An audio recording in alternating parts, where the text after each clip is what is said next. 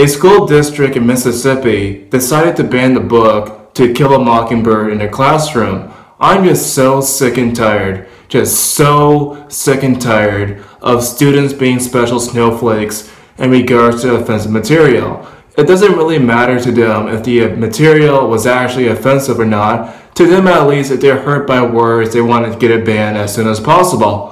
For those who don't know about the story, essentially, To Kill a Mockingbird is about a lawyer who was hired to defend a black guy who was falsely accused of rape, even though he was not like the rapist. And even though there was like evidence that was against the idea that he was a rapist, they decided to put him in jail because of reasons. The whole entire book, the movie, etc., in my personal opinion, was a fantastic read and a fantastic watch. If you guys haven't checked out the book or the movie yet, I highly recommend you guys to do so. But getting back to the news story, the main reason why they wanted to ban the book was because of the language that was used in the book. And I'm pretty sure that the language that was used that they are offended by was the word nigger. And the reason why I say that is because in the book, according to the story, the lawyer was actually called a nigger lover because he defended the black guy. To the students that are watching this video, please cut the bullshit out right here. Like seriously, every single day. You guys call each other nigger all the time.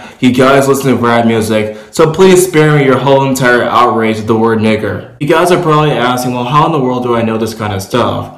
Well, trust me, I graduated back in 2011 and I saw people using the worst kind of profanity out there. I heard people use bitch, cunt, nigger, all those words. So please don't pretend to me that you guys actually don't use these words on a daily basis.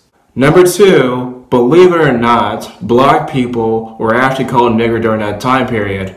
Yes, I know it's kind of hard to understand, but that's what they used against black people during that time period. There was a movie that came out back in 2011 that was called Django Chain, and that movie was directed by Quentin Tarantino.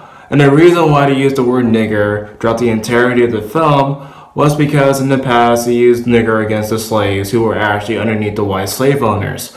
In other words, it depends largely on the context in which something takes place, and just because something has a bad word does not mean that the overall message must suffer because they have bad words in it. You have to listen to words and what people are saying with the words and not look at the words themselves and just judge based upon what the words sound bad to you.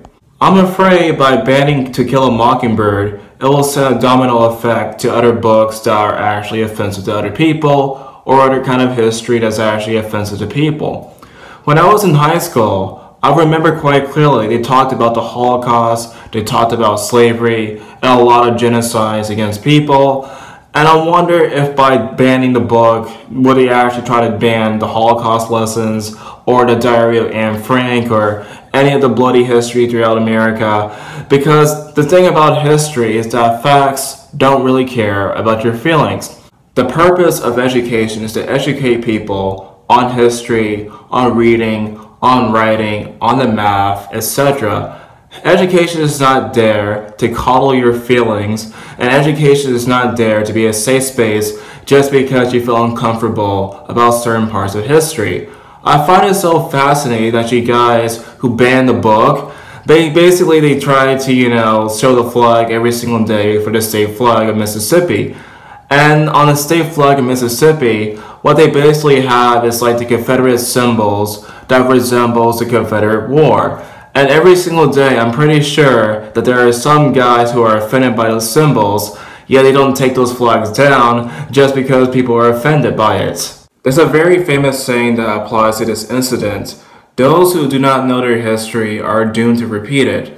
By not knowing much about history, you're basically going to be doomed to repeat the same kind of mistakes that your fathers and your fathers before you have made if you don't know what to do and what not to do and to learn from their own personal mistakes. When you go to the real world, nothing be fucking filtered for you guys. So quit acting like little bitches here. How are you guys supposed to make it in the real world if you guys cannot handle fucking words? Only words will have power unless you give power to it.